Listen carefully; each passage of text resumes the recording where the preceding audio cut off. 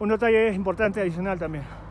Como verán, el kilometraje se ha reanudado a cero, porque esta es una vía nueva que prácticamente estamos empezando.